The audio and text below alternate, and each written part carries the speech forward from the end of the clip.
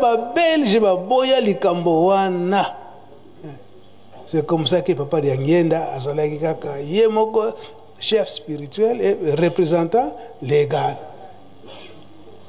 bato ya lingomba mosusu balingaki ete ezalaki chef spirituel mosusu représentant légal mosusu oyo akotala administration moto mosusu chef spirituel mosala ne kaka afanda na nkamba abondela kaka mpo na bandimi ale mvula nga nika ikotanga ko c'est comme ça que papa Diangue Defi lui-même le chef spirituel et représentant légal schéma yango wana mpe eza kolandama kasi ah pasi bon mpo na kosukisa ngonga mpesi ekei tokotya liloba moko ya papa diangienda mpo na korenforce kunzulu ndenge toza koyoka soki ndenge nini na congo braza me congo braza bolanda malamu message ya papa diangenda papa diangenda na suka azalaki très mécontent na ndenge biso bandimi ya braza tobebisaka konzulu très mécontent tolanda ye okomi ya tata mwana mpe yali mosantu bamama batata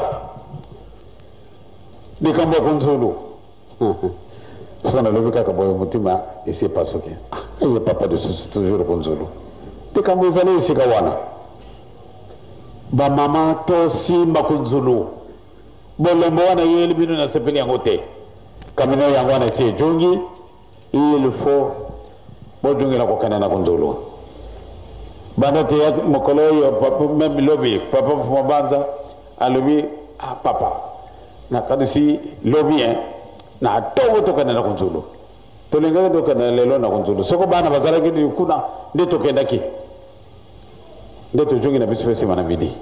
mposa wana ezalaki mpona nini kunzulu yango ememi ngambo donk soko tosali misala kuna te ngai nakozala na bosepeli te pamba te biso tokolesa mokili mobima bokondimaka yango te kasi pourtant ezali ndenge wana lobi ntango namoni baza kolekaka na manioko monene monene Vraiment motema na ngai na koti na bilanga. Bana na ngai ba musiciens bazali wana. Bwana faki bolembi. Bango soko tolobi lobi tokei na bilanga bakei na bango. Yango na ngai nalingi nde totunga esika kuna. Mboka ezali kuna. Kati soko tolembi esika wana tokozwa lifuti na mabele. Donc malamu nde tokenda kotonga konzulu. il faut tokenda kosala mokolo na mokolo mpo na bato bakoki komanka lisusu te tokenda kolona tokenda kolona mpamba te soko toloni mbala toloni ndunda toloni tomate toloni nguba biloko nyonso tu ekobima kaka kuna malgré baengin na biso ezali ya mpane kasi likambo te na ntango na kala bakoko na biso bazala kosala na baengin te Tokozwa yango kasi ti lelo tozali na ba problème mais soko nzambe alingi tokozwa kaka ba engin banda ntango wana nakanisi tokosala mosala oyo tosalaki na 1983 pamba te mosala ndenge wana ya solo esepelisa soko nakomi kaka na bilanga wana nazali komona lokola ya biso te nayebi te soko ngai kaka nazali komona boye mais soko totali oyo mosala biso bato tosali donc ntango oyo malamu nde tojungela mosala wana batata bozala negligent te bino batata botambolisi il faut boentraine bo boentraine bamama bana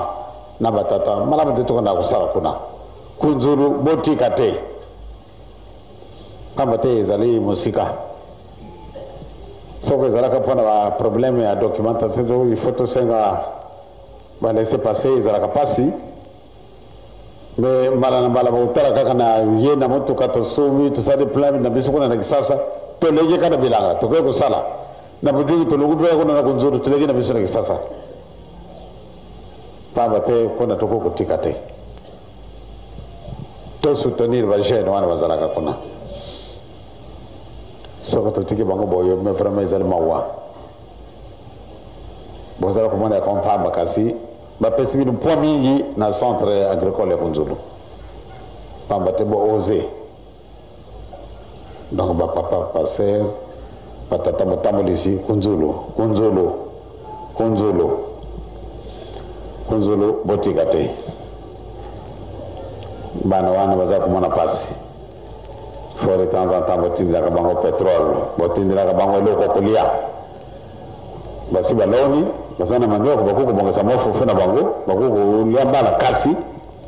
ndenge nasalaka na plateau de bateke bango baza na manioko kasi ngai soko natindi bango eloko te vraiment toza koswana na bango motama lisuma lingumba kamba te malamu nde tosoutenir bato batika mboka na bango bakenda kotikala mpona bango totikala bango na nzala wana kokosepela te donc euh, bamama bojongela ndako na biso esili nano te ti lelo bokosalaka lisusu te ah kamino okende kisasa yango wana tosi tobongisi karoserie ya kitoko ya makasi donc malamu nde tojungela mosala mwa mokonzulu toyokani e eh? bamama toyokani e eh? sino ngai nakoleka kuna kaka naye kaka lokola tozwi motuka a ah. Na ye kaka le tokeyi kolongwa na ngai kuna mpe kaka naleki na Kisasa pamba te ezali derangement mingi mpe na bino awa soko ngai na ye moye kolala lisusu mponge na bino ezali te eh, eh? ezali boye te eh?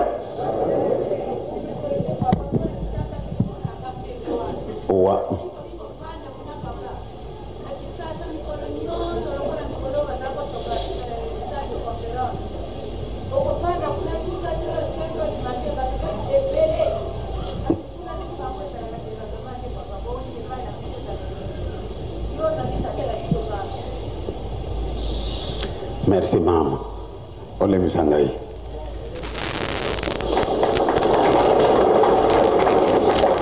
bon lelo ezali coup d'envoi tokopesa mpo ete tosala tozwa batimbre tozwa batimbre tokokoka soko tokokoka te tika te tata nzambe apambola biso tosala ndenge elingi ye na komona tata mwana mpe yali mosantu amen papa na ndenge opesaki biso nzela ngai nasilisi nasuka na message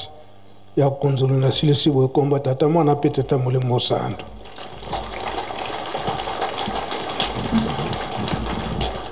bajeune oye tolandi be tolandi te toyoki be toyoki te